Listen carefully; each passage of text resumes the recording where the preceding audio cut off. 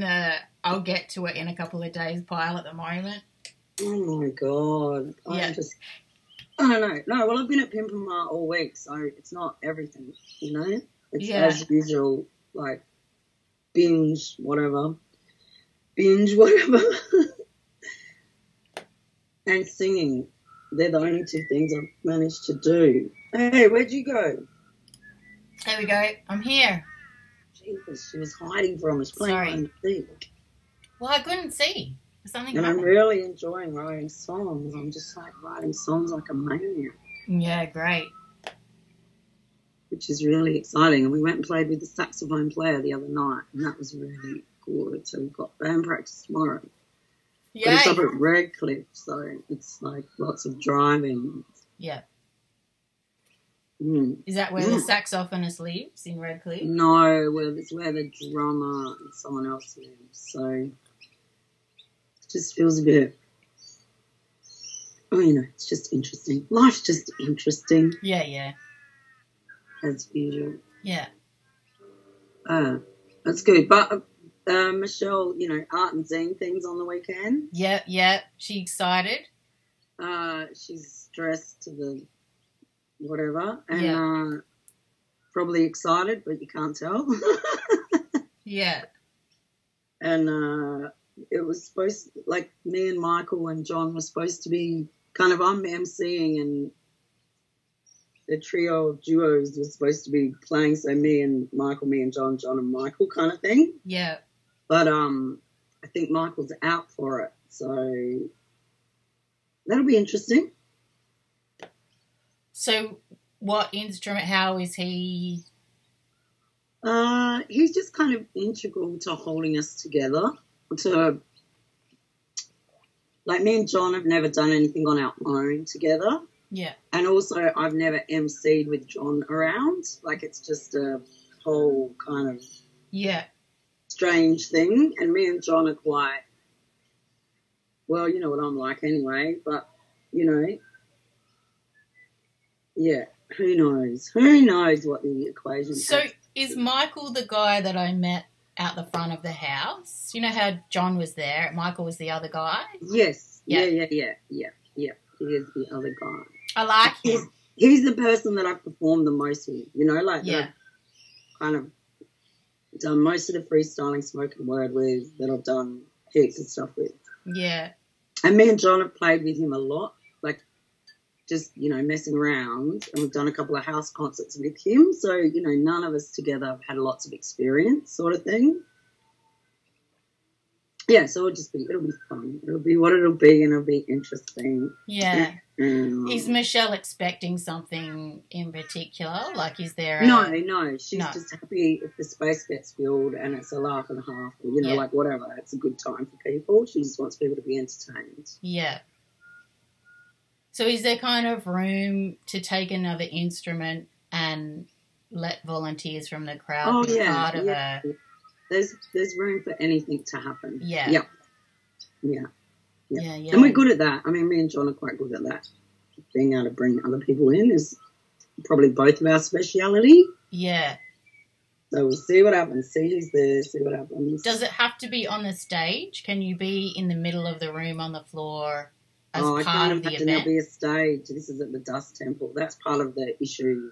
The part of the ongoing thing is, you know, just Michelle feeling like they're not supporting her to have it there. You know, like Well, I just wonder if having because sometimes it's nice to have like the musicians in the middle yeah, and not kind of put them on a different physical level. And then Yeah. if, if it is participate, because then people can clap Come. and dance and whatever, and they're, I don't know. I'm not, yeah, I'm just saying sometimes that's nice, especially if you don't know, like if there's not a set yes, to yeah, present. yeah, yeah.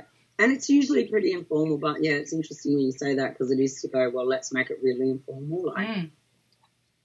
Mm. And then it's Mm. more like ceremony. Then it's more like ritual. Then it's more like a celebration, like you are at a party and everybody's yeah, kind of part of it. Because even in a party, there's someone who's leading and hosting and doing all that stuff, yeah, totally. entertaining. Yeah. You've always yeah. got the entertainer at the party. Well, yes, I am. But you both are, yeah? Do you feel like you both are? Um, well, that's just the thing. I feel like we're both, we both are, but we don't know. We haven't quite worked out the balance in that yet either. Yeah. Like, I'm used to being in control Yeah. and I'm used to being able to just pull people in and push them out when I'm finished, sort Yeah. of thing. And I know that sounds terrible, but it is like how I operate there. Like, Yeah. and I'm really good at bringing the people in and then going, thank you very much, see you later. Yeah. and not kind of neglecting them, not neglecting them, but, you know, on to the next thing. And with John, that's quite volatile at the moment. Yeah. Or just, you know, it's quite raw for both of us to be in public and to have each other's reactions and to just let them be what they are and Yeah, all yeah. that stuff. So Yes. it just feels a little bit like that. It Yeah. dangerous in that sense. Yeah, great. When we're trying to establish how we go on, sort of thing. Yeah, yeah. Uh, but every day's like that, so you know, shouldn't make it significant.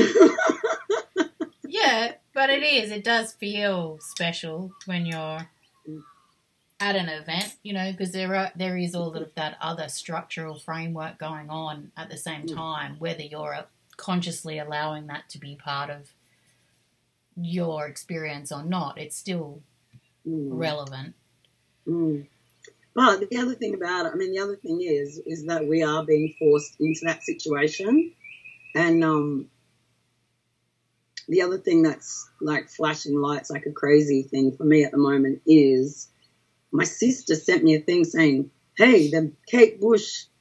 Let's get as many Kate Bushes in the Botanic Gardens to do Wuthering Heights is on in Adelaide near your birthday. Why don't you come? Yeah, and do that with us for your birthday, for your 50th birthday. That would be a great way to celebrate your birthday with thousands of Kate Bushes around the world. yeah, And so then I'm like, well, I still want to go to Justin's. I still want to do my Victoria trip. Why don't me and John do a series of house concerts for my 50th birthday? Like travel around to all my friends' houses and do house concerts.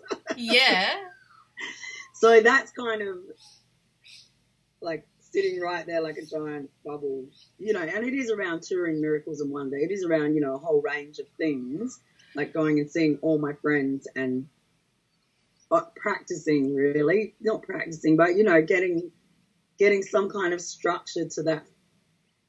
All the ideas I have about that promoting Miracles and Wonder through a little show that has a, an, a a story arc through it. Can I can I throw something in?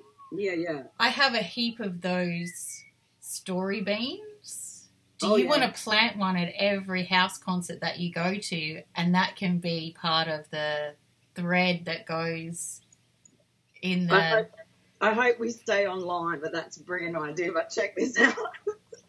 yeah. I hope we stay online. And you should see the one at Pimpama. Oh my God, man. Maybe those beans do take over the world. Hang on. The back fence. Can you still see me? yeah, I can still see you. Oh There's wow, it looks beautiful. So the story beans are going off, people. there should be enough for every house in the world, see? Yeah, well, I've got a heap of them. I mean, you know, a handful, like Yeah, yeah, you know. Oh no, and Moo at Pimpama, she's got like a bucket full. Wow. Collect a bucket full from her. She's got a bucket full from one plant. Well, because I was just thinking, if you're doing the house concerts, I mean, that in itself kind of ties everything together. But if there's a story that you want to do Mm. that kind of, um, I don't know, wraps it up with a little bow, Mm. there's something about planting. You know, for you, because you're very much about planting the seed Yeah. and pollinating artistry and all of that stuff. So planting yeah. a storyteller bean at every house concert, even if it's in a pot, if they don't have a garden, Yeah, yeah, yeah. you know, and kind of filming that ritual and and letting them have their story about what that is, and do they have one story they'd like to share, and you know what it, whatever your Mm. feeling is in the time, Yeah. you know, and and all of that um, kind of just filming on the devices that you have. Yeah. Yeah, I feel like that's, and it can just go straight to YouTube or whatever until you figure out anywhere else that you want to. Yeah. Because Yeah. even then, like if just keeping it, hosting it on YouTube, and then having the you know the blog series on a website or Yeah. you know on Tumblr or whatever, it can still be embedded or have a link to those videos, so you never have to kind of repost. You know, re-upload or whatever. Yeah, that's a fantastic idea. So that's July. Yeah. Yeah, So like it looks like when I add up all the places I want to go, yeah, all the people I want to see, yeah. it's kind of like at least a month or maybe a month and a half.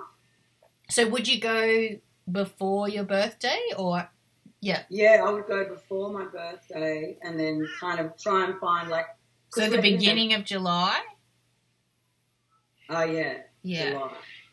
But So, the like- beginning of July, because yours is the 21st. So, Yeah, like I think it's like the twelfth, the twelfth, because I think the Kate Bush thing's the seventeenth or something like that. yeah, And so then it'll be a, a couple of places on the way to Broken Hill, a couple of different things in Broken Hill, like Menindee, Broken Hill, and then there's a couple of different places like Mario's Palace and the um, Art Exchange that would host something, you know. yeah, And then Adelaide, like there's, you know, quite a few different groups of friends that I know would probably host a house concert for me, you know, like yeah, and then Victoria, there's like about seven or eight stops in Victoria.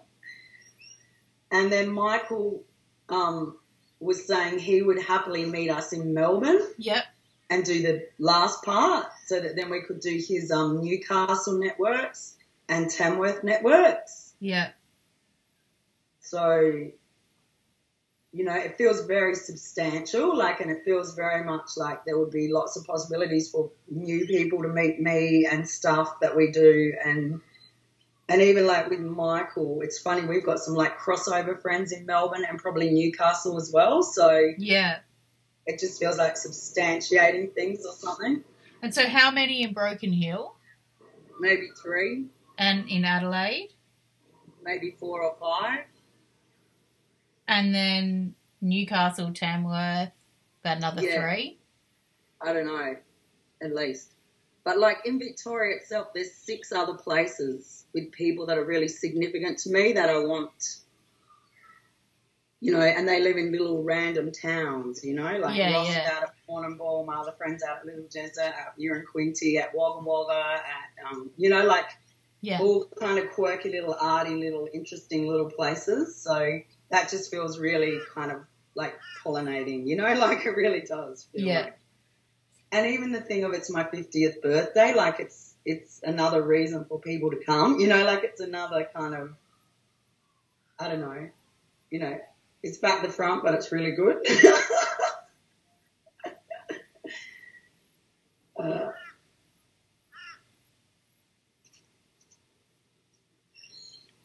Mm. And and I mean the other thing is just having that time to percolate all those ideas for the show. yeah, I mean it's just a you know a, a splat of time doing it repeatedly to refine the concept, whatever the whatever the miracles of wonder storyline is in there, to be like constantly promoting it over thirty days in that way. Like it just feels like it, it's you know it you know, it's what me and Min have done with the school program. You know, I just go in there, go in there, have experiences, let things download, let them percolate into the format and structure, yeah, let the story form itself, sort of thing. yeah, So that feels really good, you know, like, and just, you know, the whole thing of being able to do more poems and travel around with John and da da da, it just feels very exciting for both of us.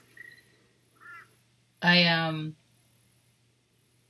I just got a little sowing the seeds of story.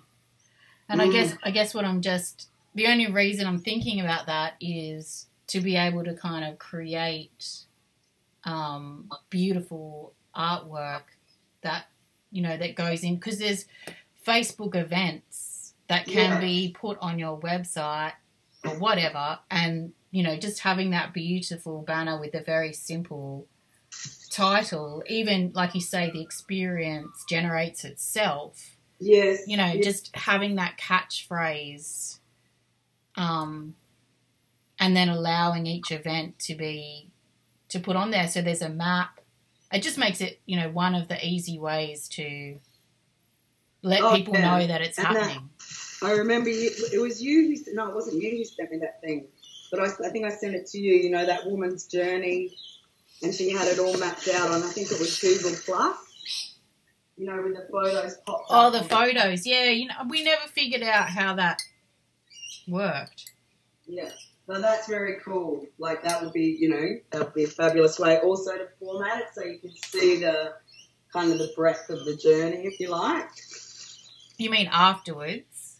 No, I mean during. Yeah. Like because if it's got, you know, if it, if you're in the last place and you've got the whole map up, but you know, it's, if you can, have the whole map up and it's blank.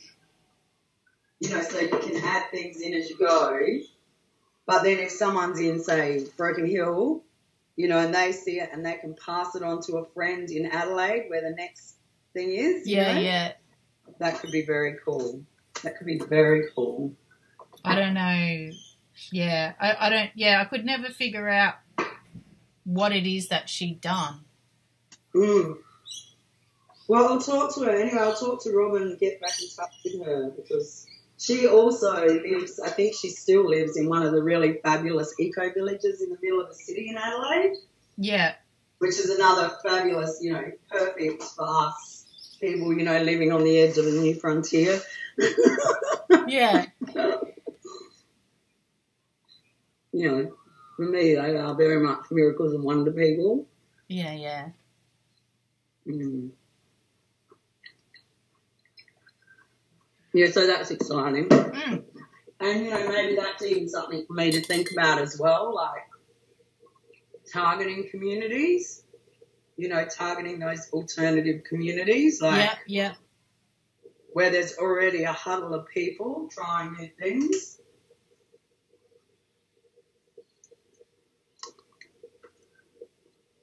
Mm. And just kind of through word of mouth and sending them to the homepage. Mm. Yep. Yeah, well, I think, you know, over, over the time between now and then, it would be good to have some specific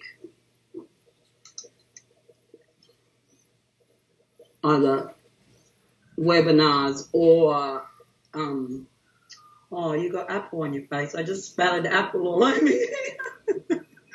um, you know, specific podcasts. Yeah. I know, you know, related to, I don't know what, you know, storytelling seeds, living in community, I don't know, whatever, creating the new utopia, whatever it is, but, you know, those kind of things that I'm on.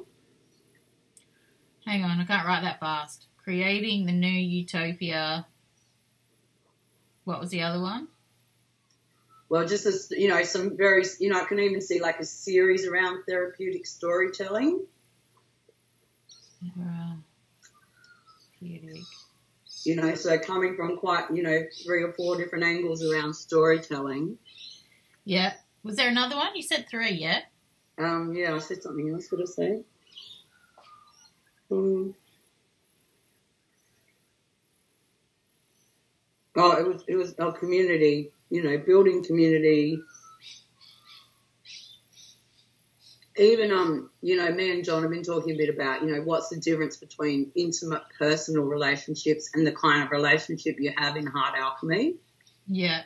I mean, you know, that sense of people expect relationships to look a particular way. Yeah. I'm just And then- it down. And then this is very, it's impersonal and yet you manage to be right on key with love, you know, like it's right. Yeah. I can't explain it, but you know, there's a whole conversation there about that.